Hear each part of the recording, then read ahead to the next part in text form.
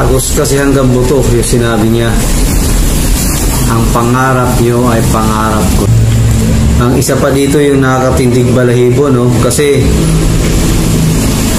tumindig talaga balahibo habang pinapanood ko ang paglipad ng ating mga Air, Air Force, no? Kasi nakita ang huling pagkakita ko yun, naalala ko nung ako'y 5 years old. 5 to 6 years old, nasa tondo ko.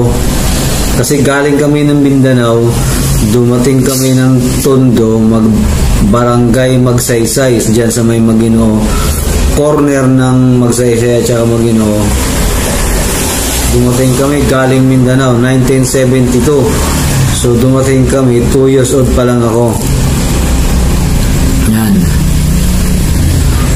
Kaya saksi ang dalawang mata ko na nangyayaring kaguluhan sa tundo. May mga riot-riot na yan.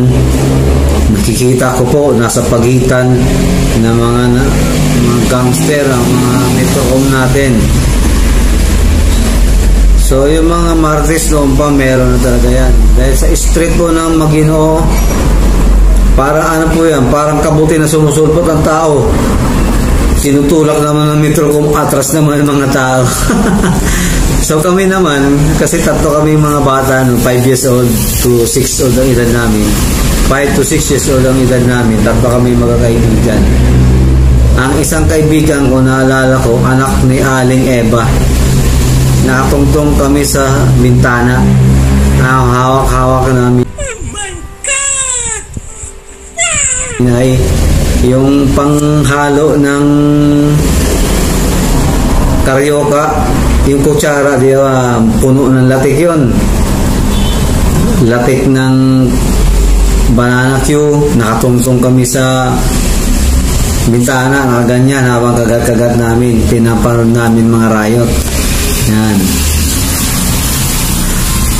Tapos siyempre, nakatungtong ka rin sa bintana para lalo na pag birthday ni Apo Lakay, no, September uh, 11. Yan, lumilipad yung mga jet fighter natin.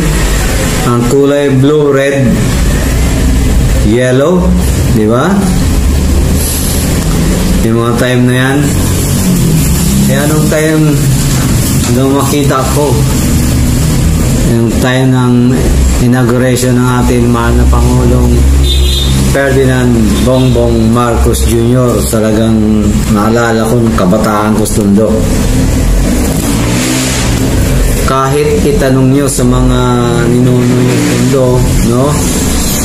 Yung mga kaedara ko nga 50, tanong nyo sa tatay nyo.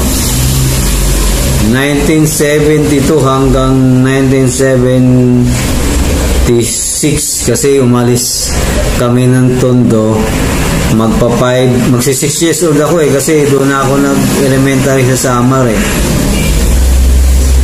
72 hanggang 76 walang mga hindi uso doon ang CR ang may mga CR lang po doon yung mga mayayaman. Yan.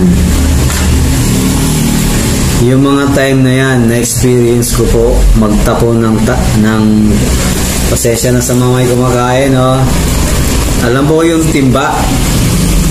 Ay yung lata ng biskwit na mataas. Yan.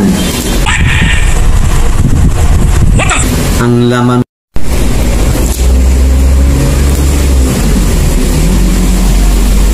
So, na, yung mga yung mga yung mga pupo pala nun, binabalot lang ng ano, dyaryo, tapos ilalagay sa lata o timba. Yun po tinatapon natin, namin ng mga bata kami. So, napilitan kami umuwi ng Samar kasi yung bahay na tinitirhan namin, natalo kami sa kaso. So, yung time na yon dumating yung uh, sheriff, pinapalis na kami nakiusap ang nanay ko na kung pwedeng doon muna kami tumira sa silong para lang hanggat di pa kami nakakatubos ng ticket. barko, yung Neptune noon tsaka Venus, no? Sa silong ng bahay namin. So pumayag naman si Eric, doon kayong matulog. Kami mag-anak. So nakauwi na kami ng summer. Kaya sa summer, doon na ako ng elementary. Doon na ako, doon ko na naabutan yung Marcos type. Eskwelahan na lahat ng elementary school sa Samar meron po yan Marcos type sinira lang na bagyo ng bagyong dinang yan unang po po tinat tinatapon namin dun sa may tulay. Yung tulay noon ginawa na po yan ng highway na ngayon ay papuntang index. Yun po yun ang